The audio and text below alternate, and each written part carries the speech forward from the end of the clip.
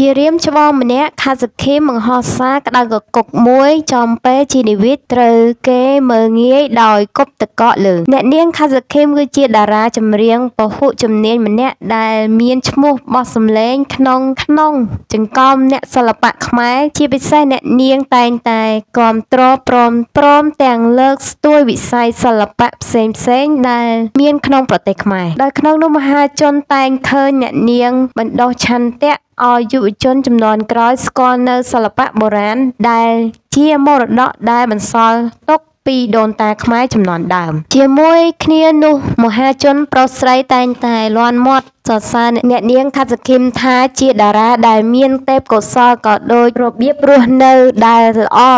ដែលពុំសូវជាលេចលឺរឿងអាស្រូវឬ ជន្លោះក្នុងសិល្បៈណាមួយឡើយហើយអ្នកនាងក៏តែងតែឈរនៅខាងភាពត្រឹមត្រូវជានិច្ចផងដែរយ៉ាងណាមិញថ្ងៃទី1ខែសីហាឆ្នាំ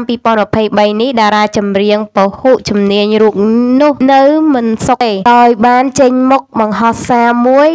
ដែលសារនោះអ្នកនាងបានលើកឡើងជារឿងមួយពីតម្លៃ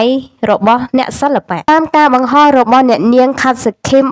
បានបង្ហោះរៀបរាប់យ៉ាងខ្លីថា បងចូលសិល្បៈមុនបងដឹង ប្អូនអើយ គេមិនសូវគិតថាអ្នកសិល្បៈសំខាន់ទេមើងងាយសាហាវបងយល់ហើយស៊ូស៊ូគួរឲ្យដឹងដែរសារនោះមហាជនអ្នកគ្រប់គ្រងបានយល់ថាអ្នកទំនងអ្នកនាងខាត់សខឹមចង់ផ្ដាំផ្ញើនិងលើកទឹកចិត្តទៅលោកជីឌីវិតបើទោះជាមិនបញ្ចេញឈ្មោះក៏ដោយបន្ទាប់ពីអ្នកនាងបានឃើញលោកជួបព្រឿងមួយស្មានមិនដល់ដោយត្រូវគេគប់ដុំតកកដាក់ពេលកំពុងសម្ដែងក្នុងក្លឹបកំសាន្តមួយកន្លែងនោះជាទង្វើ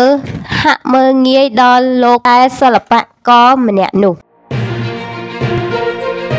ក្រោយធ្លាក់ខ្លួនឈឺដេកដាក់អុកស៊ីសែនពេលនោះស្វ័យសុជាតាទម្លាយស្ថានភាពនិងនឹងប្រាប់ថាជំងឺនោះ ថ្មីថ្មីកន្លងទៅនេះមហាជនលើបណ្ដាញសង្គមជាពិសេសអ្នកគ្រប់គ្រងរបស់តារាសម្ដែងស្រីអ្នកនាងស្វ័យសុជាតាបានផ្ទុះការភ្ញាក់ផ្អើលនិងបង្ហាញក្តីបារម្ភអាណិតខ្លាំងបន្ទាប់ពីបានឃើញសកម្មភាពរបស់អ្នកនាងធ្លាក់ខ្លួនឈឺដេកស្ដោកស្ដឹងដាក់អុកស៊ីសែនក្នុងមន្ទីរពេទ្យក្រោយបញ្ចប់ការងារថតក្នុងនោះអ្នកនាងស្វ័យសុជាតាមិនបានបញ្ជាក់ឲ្យដឹង ថាអ្នកនាងមានជំងឺអ្វីឡើយដោយគ្រាន់តែបានបង្ហោះរូបភាពបន្ទាប់ពីបានធូរស្រាលពីជំងឺដោយរៀបរាប់ពីស្ថានភាពពេលធ្លាក់ខ្លួនឈឺនោះថាស្នាមញញឹមគ្រាន់តែជាការសម្ដែងពេលខ្លះទោះឈឺយ៉ាងណាតែធាតពិតមិនបានឲ្យ